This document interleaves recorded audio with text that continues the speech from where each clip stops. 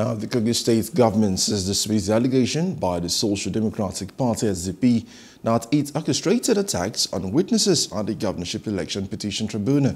Now, the Go uh, Kogi State government argued that uh, the allegations was uh, reckless and also logical, and as uh, the public was already following the case and would know that no one would plot an attack against witnesses who testified against those who paid them to testify.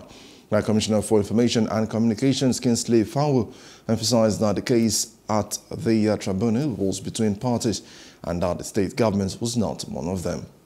For the national chairman of the SDP to make false claims against the Kogi state government before gentlemen of the press is further proof of the party's irrelevance and the reason the party is not controlling any state in the federation. Kogi state cannot be a podium for the SDP to test its songs of division, ethnic bigotry, and violence.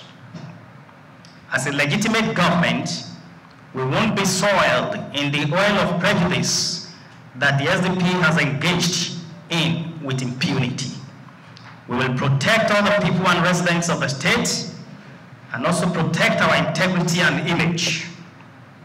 If any attack did happen, as claimed by the SDP, it must have been it must have been stage managed by the SDP to justify their failure to produce the number of witnesses they claim to have in line with their modus operandi as witnessed during the campaigns. We urge the people of the state to go about their normal businesses as there won't be any chance for anyone to attack any Kogite.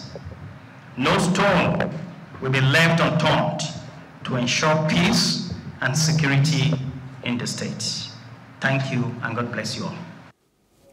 Hello, hope you enjoyed the news. Please do subscribe to our YouTube channel and don't forget to hit the notification button so you get notified about fresh news updates.